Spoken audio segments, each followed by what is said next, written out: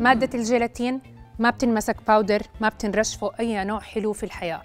لازم تمر في مرحلتين مرحلة تفتيح الجيلاتين اللي هي ال blooming وبعدين إعادة الجيلاتين إلى مرحلة السيولة مرة تانية آه لما بنحطه يا أما على حمام بخاري يا أما بالميكروويف.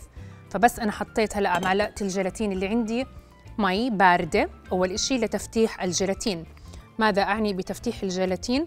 رح تتحول هلأ مادة الجيلاتين اللي عندي مع المي الباردة إلى مادة هلامية شبيهة بالجلو ورح تمسك وتصير كتلة واحدة. ولكن هلأ لازم ننقله لمرحلة السيولة مرة تانية لأنه ما بنضاف هيك. بدي أرجعه سائل أوكي.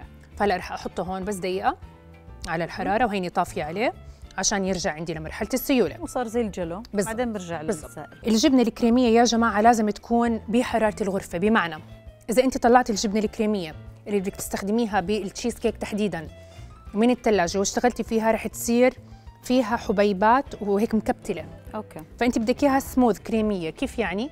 يعني أنت لو هلأ مسكتي معلقة وعملتي هيك رح تنهرس معك بسهولة. أيوه. بالرغم من برودة الاستوديو اللي إحنا فيه.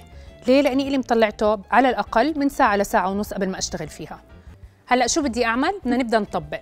آه. هون عندي الجبنة الكريمية. رح أحط عليها فانيلا يا powder يا سائل. رح أستخدم السائل powder ورح أحط عليها مغلف الكابوتشينو بس بعد الخفق. رح أبدأ أخفق. هذا المغلف بيجي جاهز بنكهة كابوتشينو. هون في عندي قشطة. رح نحط القشطة. آه. فإذا 200 جرام كل حبة آه،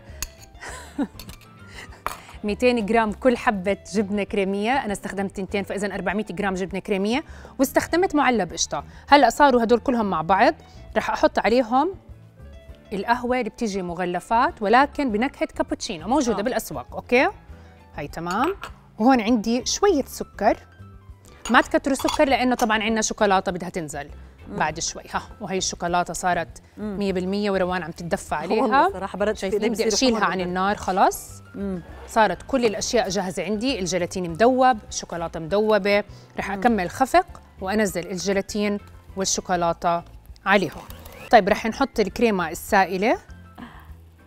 أوكي بدي أحط منيح لأنه الجيلاتين رح يرجع يجمد لنا الجبنة. المقادير. من البرد يا حرام. ورح أنزل الشوكولاتة. كثير مهم إنه بعد ما ندوبها شايفين ما عم بيطلع منها بخار. أوكي؟ تكون يعني صارت شوي دافية ولكن ما تكون سخنة كثير بس أحط الجيلاتين. هاي الجيلاتين.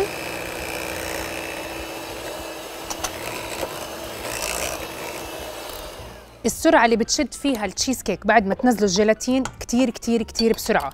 فعشان هيك الشكل اللي بدكم تعطوه للقالب لازم رأسا تتصرفوا عشان ما تاخد أي شكل أنتم ما بدكم إياه وتكوني مرتبة من فوق. فأنا هلأ بس عم بتأكد إنه كله مخلوط. إذا جبنة كريمية قشطة مغلف كابوتشينو بالإضافة لكريمة سائلة أضفنا شوكولاتة وأضفنا شوية سكر بالإضافة للجيلاتين والفانيلا رح نوزعهم هلأ على القالب. هاي مش من ال cheesecakes اللي كتير ضخمين إذا بدكم إياها عالية بدكم تحطوا على الأقل من 600 ل 800 جرام من الجبنة الكريمية. بصراحة بتكون مكلفة كتير وبنفس الوقت يعني دسمة كتير. فأنا مش كتير يعني بتفرق معي إنها ما تكون كتير مرتفعة أو شاهقة الارتفاع. وفي عندكم شغلة تانية بتقدروا تعملوها إنكم تصغروا القوالب عشان تطلع معكم عالية. ل 250 جرام من البسكوت مع 100 جرام من الزبدة. هذا ثابت.